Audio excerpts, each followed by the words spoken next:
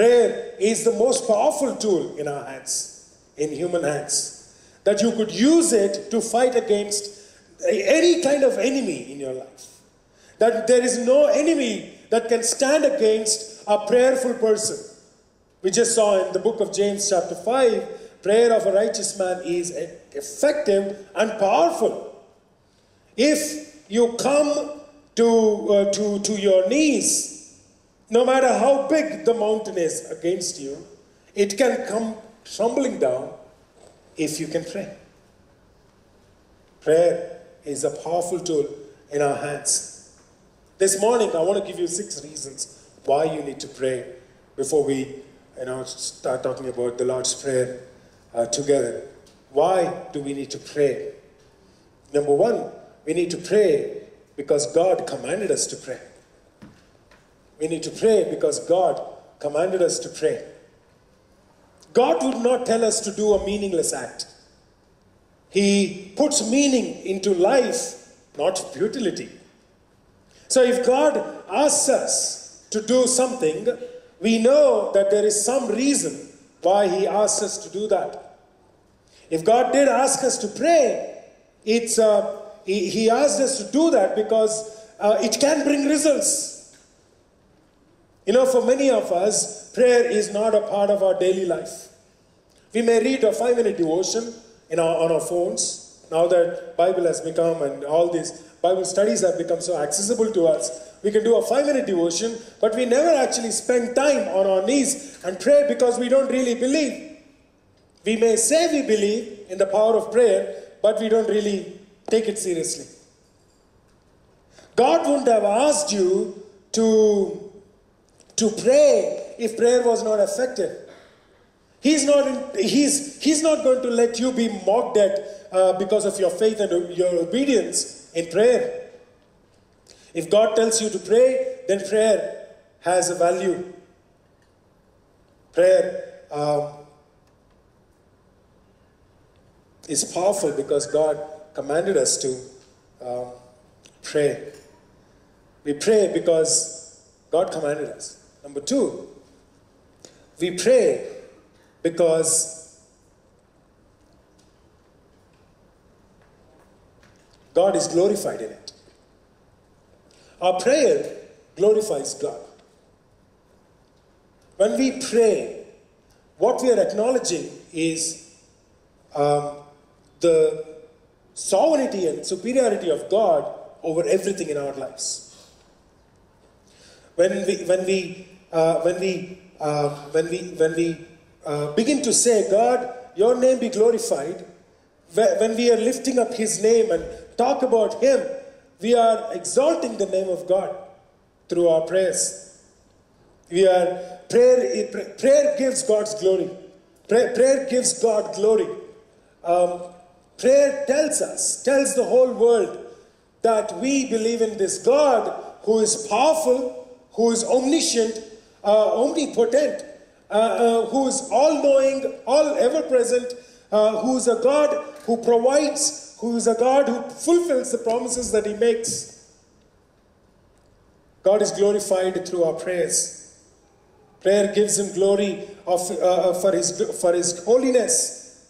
Prayer gives Him, prayer um, gives Him glory when we come to Him and seek His wisdom. Prayer gives Him glory when we come to, his, come to our knees and ask Him for mercy and grace upon our lives. We should pray because God is glorified in it.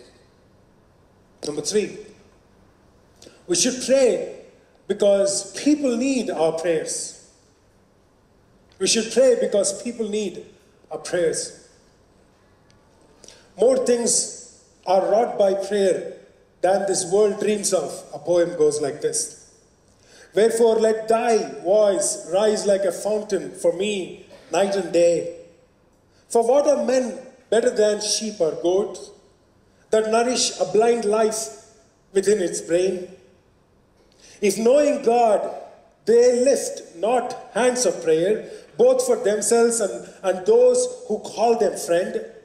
For so the whole round earth is every way bound by gold chains about the feet of God. The poem basically tells us this that if, if, if, you know, we are not sheep and goat, we are human beings. And if I'm not going to God in prayer for myself and for others, then what's the point of calling people our friends? We need to pray because people need our prayers. Not only we, we, you know, we require prayers from others, we need to pray for others. Paul, uh, the great apostle, um, writing to um, the churches that he writes, every almost every single church, he pleads with them to pray for him. He says, I am praying for you. Every time I remember you, I thank God. He writes to Philippians, he writes to Colossians. He says, Every time I think of you, I thank God for you, thank God for your faith. I pray for you earnestly, but you also pray for me. Pray for me that whenever I open my mouth, he says, uh, words may be given so that I fearlessly make known the mystery of the gospel, for which I am the ambassador in chains. Pray that I may declare it fearlessly as I should this, uh, this great apostle is actually asking his church, saying that, Would you please pray that I may preach well? Would you please pray that I may share the gospel well, effectively?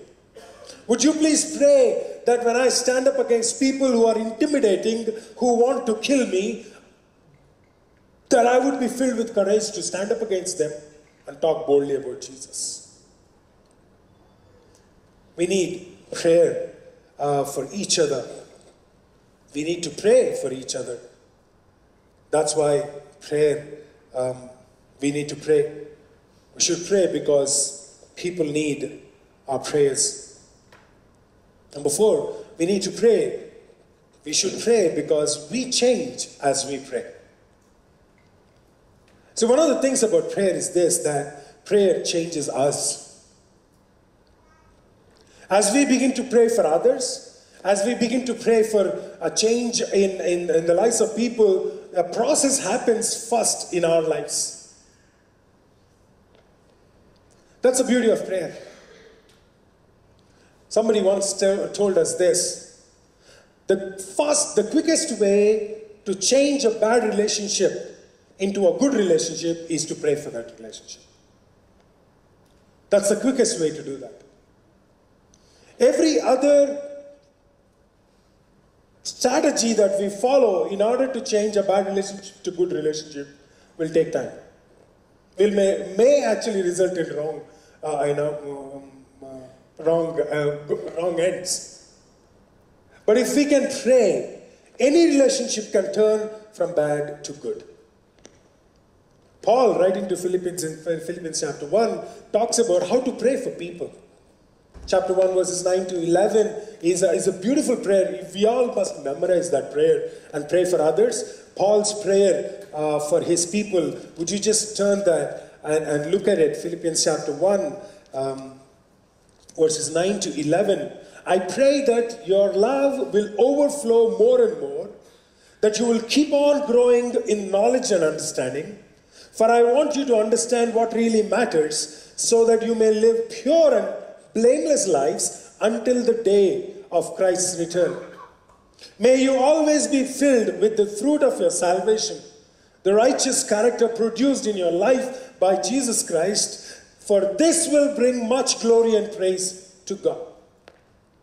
In these three verses, he prayed this, this, this prayer um, that, uh, that is extremely good prayer, you know.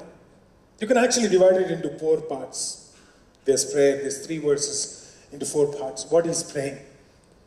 First, he's saying, I pray that you may be filled with the love of God.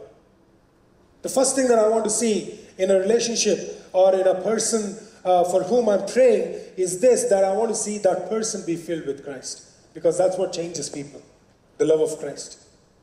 If for any person, if they encounter the love of Christ in, in, in its purest form, they cannot remain same. Something happens in their life. Something begins to change inside them. So he says, I want to pray, I pray that you may be filled with the love of Christ. You may know Christ. Then he says, I pray that you may be filled with the knowledge and understanding. He's saying, I, may, I pray that you may be filled with wisdom of God. First of all, I pray that you may be filled with Christ so that, uh, uh, with the love of Christ, so that you may have the right faith. But I also pray that you may have the wisdom of God in your life so that you may know what is right and what is wrong. What is God, godly and what is from devil. He's actually praying for people and he's saying, That's my prayer for you. That you may know what is coming from God, what is not coming from. Then he says, I pray that you may have pure and blameless lives. That's the third prayer, right? That's the third thing he prayed for. I pray that you may have pure and blameless life. So, first have the right faith, uh, be filled with the love of God, by be filled, being filled with the love of God. Then have the right wisdom so that you know what is from God, what is not from God. I also pray that you make right choices in your life. It's a very important thing, huh? Not, it's, it's, it, while it is important for us to know what is from God, what is not from God, it is also important for us to make the right choice. Some of us know what is right and what is wrong and still make wrong choices. So he's saying, when uh, I, I pray that church, that not only you know what is right and what is wrong, what is godly and what is from evil, uh, what is evil, but I pray that you may actually make good choices right choices, godly choices. That way you will become pure and blameless. Now, what happens after that? He says this I pray that through your life, as you produce the right fruit, you may bring glory to Christ. Have right faith, that's my prayer for you, that you may be filled with the right faith, that you may have the right wisdom, that you may make right choices and that you may bring right fruit out of your life. A fruit that will bring glory to God. What a prayer it is. If you don't know how to pray for people, this is how you pray. You know, sometimes some of us want to pray for others, we just don't know how to pray for them. Once we, uh, you know, finish off the list of the needs that they told you, like sickness or, or like a job, or you, you just don't know how to pray after that, right? This is how you pray. Pray that they may be filled with the love of God. Pray that they may be filled with the wisdom of God. Pray that they may live their lives blameless and, and pure. Pray that they may produce the right fruit that bring glory to God.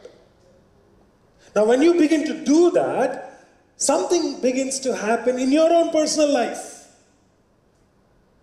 You see, the way God changes a bad relationship into a good relationship, the way God changes a bad person is, is by making you the person who will influence him to become good. Prayer has the power to change us. You may not see it, but it actually brings change. See, some of us struggle to pray, submit to it, submit to its disciplines, respond to the call of uh, God. Uh, you know, and, and because sometimes we don't see results happening quickly. And consequently, we lose interest in our prayers, interest in the time that we need to set aside for God and you know t- uh, spend time with Him. True is uh, the truth is this: even though you may not see it, God is at work in your life. That the little time that you actually spend with Him is bringing fruit in your life. You may not see it right now. Uh, uh, in, the, in the three years of Bible school that I studied in, uh, when, I, when I was studying for my theology, it was the last six months in my Bible college that I actually spent time asking God, God, would you just direct my life? That help me to make choices that are your will. That I may, I may emotionally be attracted to do some things, but always correct, course correct me, God. Bring something into my life, bring situations into my life that even though I would not like, I would still make the correction and walk into your will. I prayed that prayer for six months. I was, I was in love with the wrong woman, a wrong person. Um, Janet is not here, so I can say anything I want today.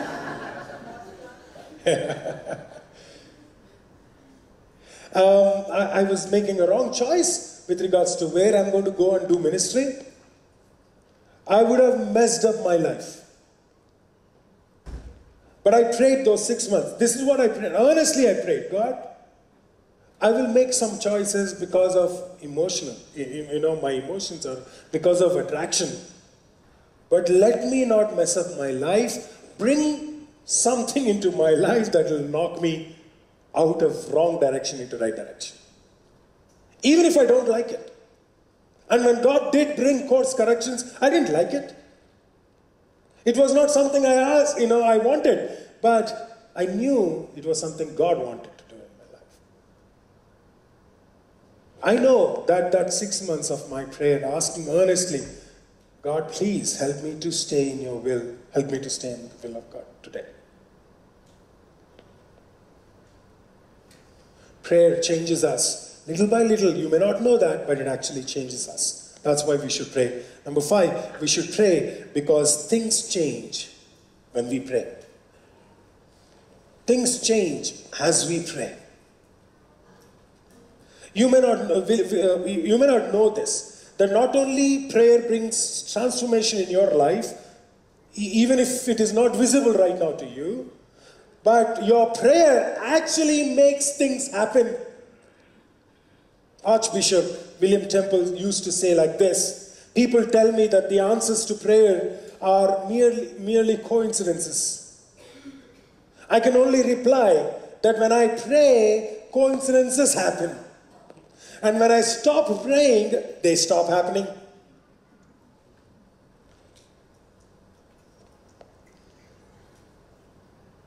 I heard about a story um, that took place in, um, in a place called Dunstable in, in, uh, in UK. This place uh, was experiencing a series of brutal attacks and rapes uh, that were carried out by, by a criminal who came to be known as the Fox in the popular press because of, uh, because of the skill that he had in evading the police, you know, from being caught. Eventually, the local church, the, the, there's a, you know, a church that was in, in Dunstable began to pray together. They began to hold special prayer meetings and, and pray for the capture of this criminal. They prayed specifically, they prayed forcefully, they prayed persistently. Soon, um, the, you know, um, the fox was captured and, and the picture appeared on the, on the papers of this particular criminal handcuffed between two policemen. The interesting thing is this that both these policemen were the members of that church. There are no coincidences in God's dictionary. I'm sure when that picture appeared, God must be looking at all the people who call the results of our prayers as coincidences. You must be looking at them and smiling. Do you call it coincidence now? When you pray, things change. People change. Circumstances can be changed. We should pray because things change as we pray. Number six, and this is the premise of the entire series, we should pray because Jesus prayed. That's why we pray. We should pray because Jesus prayed. If the Son of God in our world needed to pray, do you think you need not? That you would not require to pray?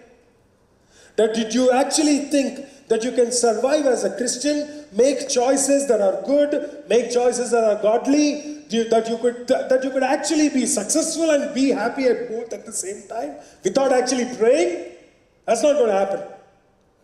You may be successful, but you will not be happy. You may have, you may accumulate everything that you want in your life, but you would still not be happy. Without prayer, no person, I don't think there is any successful Christian in this world because Jesus himself showed that pattern uh, that, that in order to fulfill the purpose of God in our lives, we must learn to pray. His prayer life focused on his sense of dependence and obedience to God. He had, spe- he had, you know, he was specialized in uh, prolonged times of prayer. Sometimes he would minister the whole day, uh, heal people the whole day, preach the whole day, days together, and yet in the night when everybody's gone to sleep, he would go up to the top of the mount or find a place that is lonely in the wilderness and start praying. He knew this, that his time with the Father is the one thing that can prepare him to face his, his, his, the business that he has in his hand. You want to be successful at your office, you need to pray. You want to be successful in your marriage, you need to pray. You want to be successful in your exams, you need to pray. Because Jesus did that. And we got to learn from him. Before and after his baptism, before choosing the 12 disciples, before the transfiguration, even in the Garden of Gethsemane, before his passion and death, Jesus spent time in prayer. In fact, he did not stop praying. Even now, after his ascension to the heaven, he is now sitting on the right side of the Father in Hebrews chapter 7, verses 25. He, the author says he's now sitting beside the Father and interceding for you and for me. Still praying.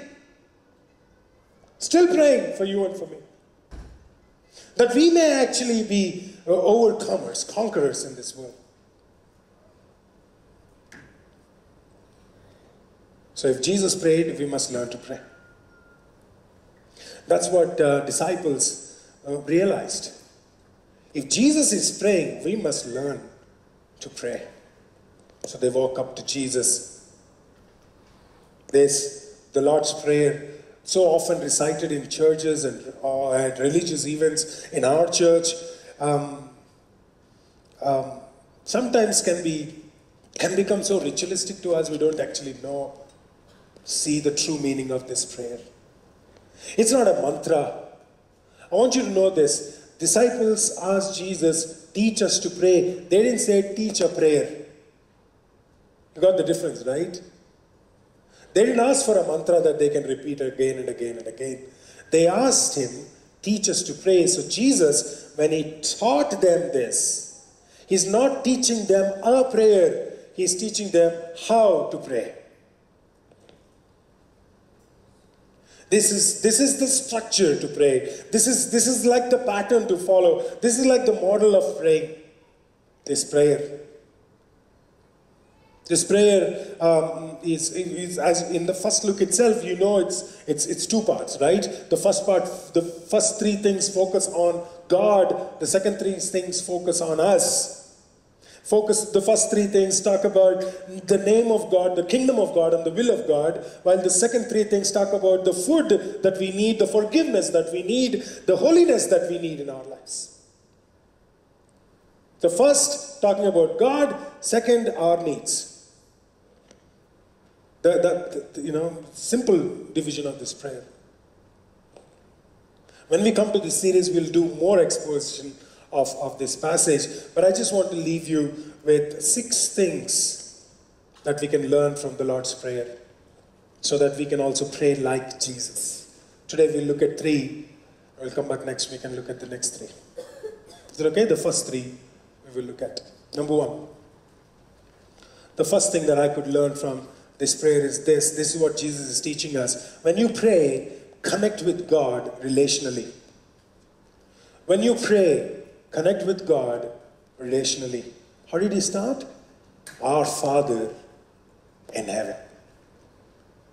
What a privilege it is for us as Christians. That, that we could actually go to God and call him Father. God isn't interested in, in, in, in us practicing religion. Instead, he desires a relationship with us. In this prayer, that's what Jesus made clear to us. He's not worried about how many times, how many Sundays in a year you have attended church, how many uh, communions you've been part of, or uh, you know how many people you actually went out and witnessed. He's not counting all that. Of course, you need to do all that. He's not counting all that. He's not looking at how ritualistically you're following your religion. He's actually more interested in developing a relationship with us. In fact, He gave us the Holy Spirit so that the Holy Spirit would help us to connect with Him like that, like a father and a child. In Romans chapter 8, verses 15, Paul says, So you have not received the Spirit that makes you fearful slaves. Instead, you received God's Spirit when He adopted you as His own children. Because of that, now we call Him Abba, Father. God loves relationships. That's why, even in prayer, Jesus wanted us to connect with God as a father. Let me make an interesting observation for you.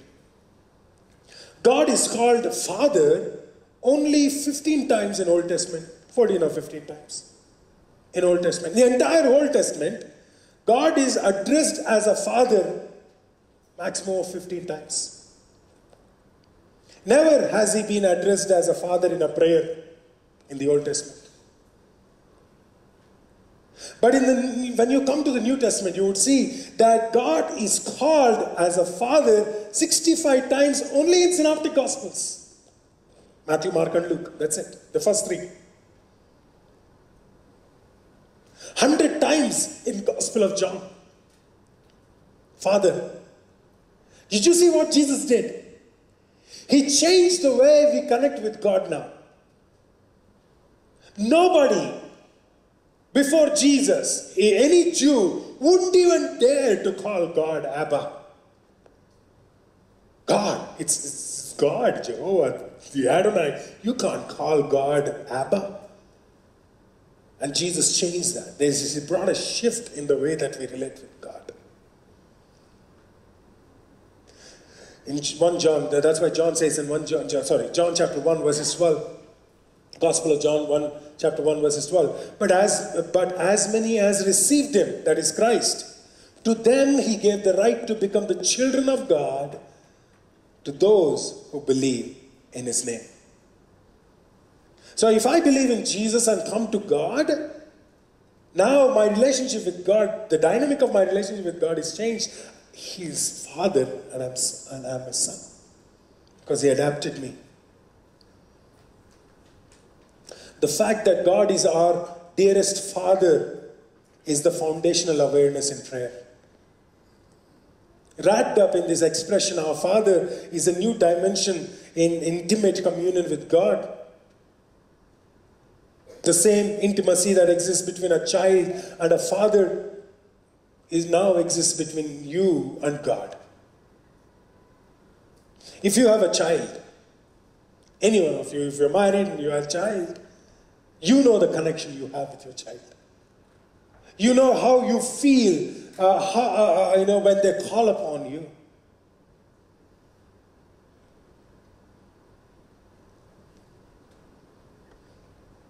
But he did not stop there, right? He did not just simply say, Our Father. He added something else, Our Father in heaven.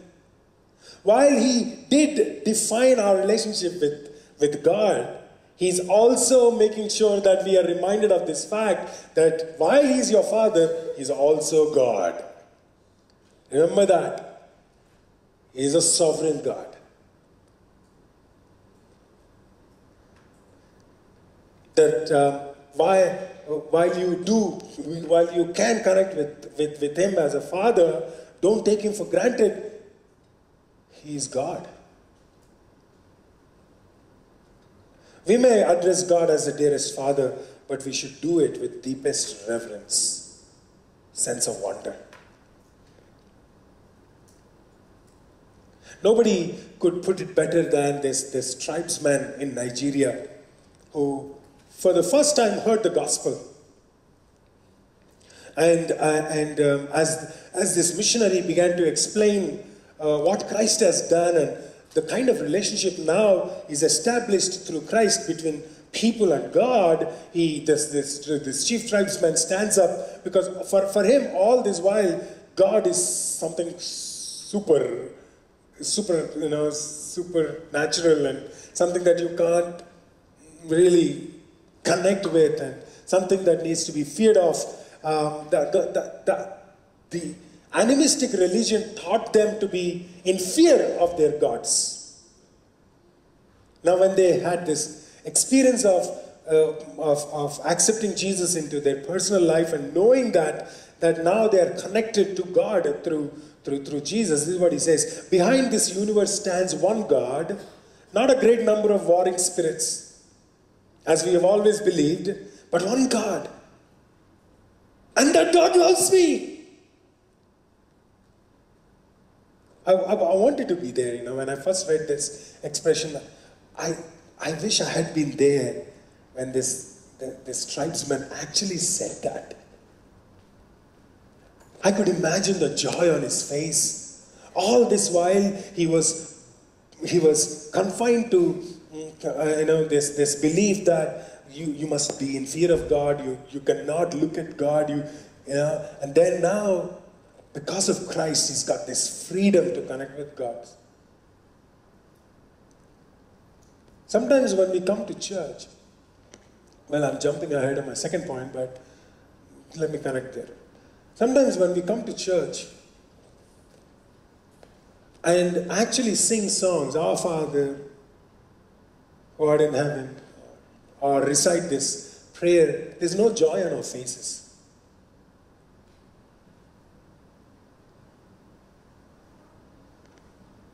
I wonder what happened to that? What happened to that, that joy? And because of the absence of that joy, of knowing that you are now connected to God, you miss the second one. That is to worship Him in reflection. This is what Jesus taught us. First, through His prayer, connect with God relationally. Number two, worship His name reflectively. Mm, worship, I was talking to uh, Plugin two days ago. Uh, in our plugin, I talked about Nehemiah's worship and how Nehemiah, mm, you know, at the dedication of the Jerusalem wall, um, you know, divided the entire group, the Levites and priests and scribes, into two choirs and told them, hey, before we do the dedication of the wall, we better worship God. And he sends them out all around the city, covering all the gates, and you know tells them, bring the best of your uh, your instruments and begin to worship God and, and lift up His name because this is what He did for us. It was an act of reflection on who His God is. For most of us, worship is more about singing four songs. For 90% of our church, I can give that guarantee. Worship is that, okay, the first 40 minutes that I can come late. Just before, five minutes before the message, if I'm there, that's enough. I finished my church. That's what it is. Worship is all about that part. The songs that we sing, the music that we play, that's why worship becomes boring, worship becomes mundane. What we don't realize is this worship is reflecting on who God is. The time that you actually take here into, in His presence and begin to begin to lift up his, his, your voices and begin to lift up your hands and begin to sing, you're actually taking time to reflect on who this God is. Hallowed be your name. It's not that his name needs to be, you know, purified. That's not what it means when you say, Hallowed be thy name, it actually is you know, declaring that God, your name is apart. You are apart. We recognize that, that you are a holy God. We treat you as a holy God. That's what we do in our worship. We are supposed to do in our worship. So Jesus taught us, uh, when Jesus taught us to pray, Hallowed be your name, he's telling us, hey, make the presence of God real in your hearts. When you begin to sing, understand that you're not simply singing a song, you're offering your heart you're offering your life to a God who gave it all for you. You see, listen. Um, if, if you did not listen to anything that I taught you today, just listen to this one thing. Hopefully, I will achieve my goal today. Our worship must be reflective about Him and reflective of Him. Reflective about Him by recognizing and acknowledging and declaring who He is and who He is for us. Reflective of Him by proclaiming and living according to, the, to what we proclaim of Him. I want you to think through this. It's a solemn thought to realize that the failure on our part to hallow the name of the Lord has disastrous consequences. In causing the name of, uh, you know, the, the name by which you live, that name to be blasphemed by the world. You cannot call yourself a Christian. That's what I mean when I'm, when I'm making the statement. You cannot call yourself a Christian and don't live by that name. If you don't, then the whole world will blame Christ, not you. Will blaspheme Christ, not you. You're safe. You're making money, you're still growing, you're doing whatever you want. What is getting blasphemed is the name of God by which you're living. Paul says that in Romans chapter 2, verses 24. The name of God is blasphemed among Gentiles because of you, he says. So, we eh, worship, true worship is reflective, reflection about Him, at the same time, reflective of Him. That's true worship. So, Jesus, Jesus by saying, by teaching us, by, by saying this, hallowed, by, hallowed be your name, is telling us worship his name with reflection. Number three, the third one. Pray for his, his agenda first. Respectfully pray for his agenda first. Your kingdom come, your will be done on earth as it is in heaven. What basically Jesus taught us is this that the part of being a child of God is about what he cares about. Is caring about what he cares about. Our prayers are usually about ourselves, right? It's all about what we want God to do for us.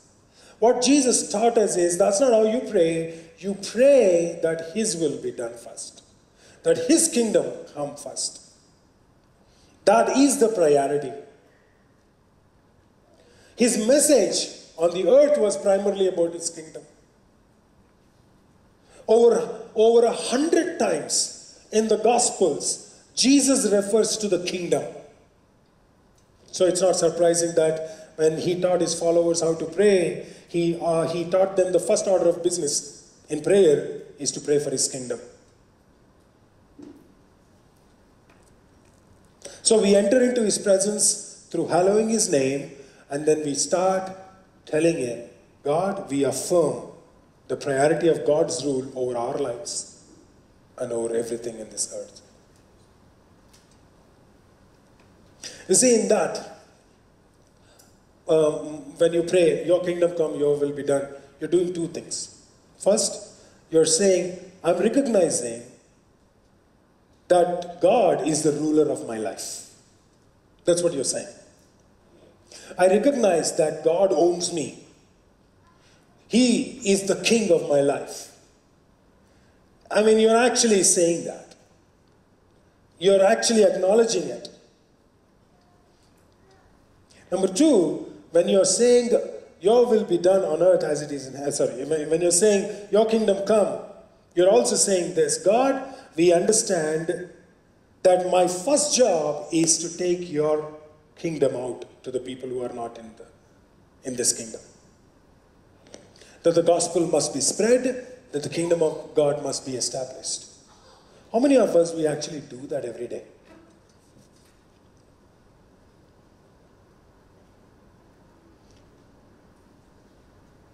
I mean, uh, forget about every day. On a Sunday, just one day. Right at the end of the service, in a few minutes from now, you're going to, of course, do this, right? Uh, Our Father who art in heaven, hallowed be thy name. Thy kingdom come, thy will be done. What did you do about his kingdom?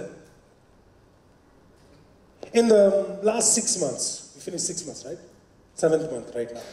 In the last six months, show me one Sunday that you actually did something about his kingdom.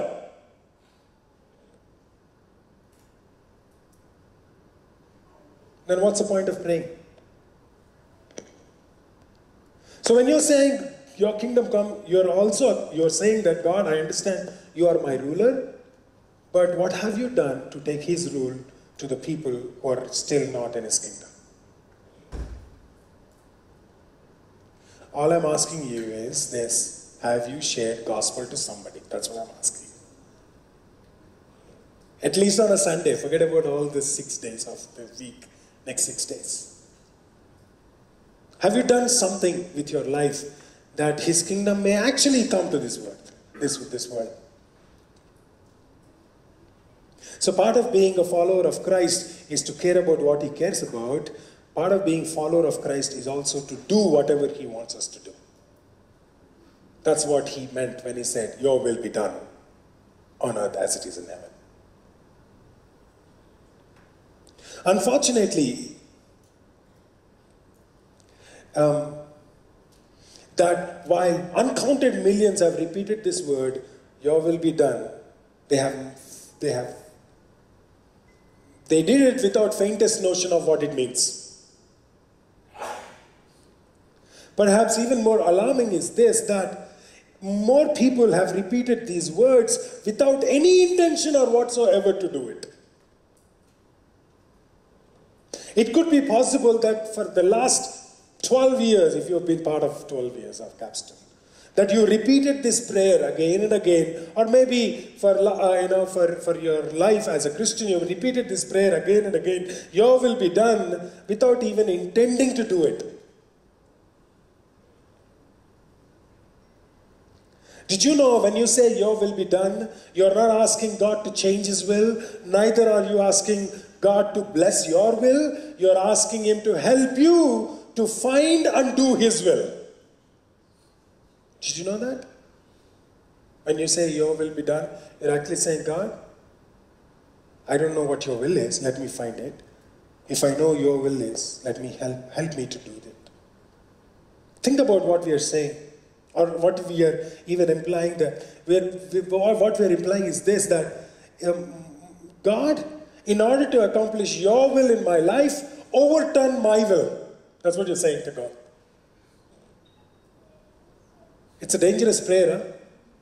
Today, don't repeat the prayer if you're not intending to do that.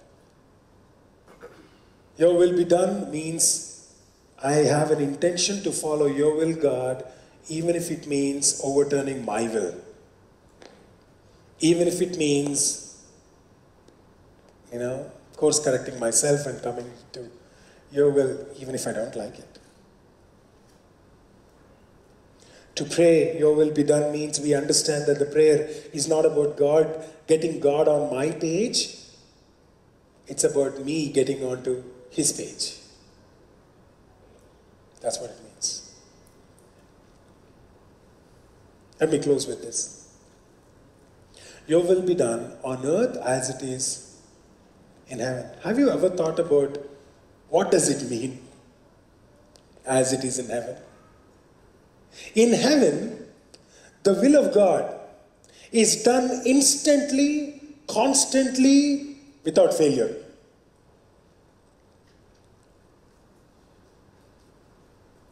Think about this, okay? His will, if God wants to do something in heaven, it's done immediately. It's not done after 30 years. After I get married, God. After I get a job, God. After I make money, God. That's not when it happens. It happens instantly. Some of you have a call of God on your life. He's been calling you to serve Him. But you're like, let me make some money and then I'll think about it. But the will of God in heaven is done instantly, constantly, not one time, not two times, instantly, constantly, without failure. So don't pray, your will be done on earth as it is in heaven if you're not intending to do that instantly, constantly, without failure.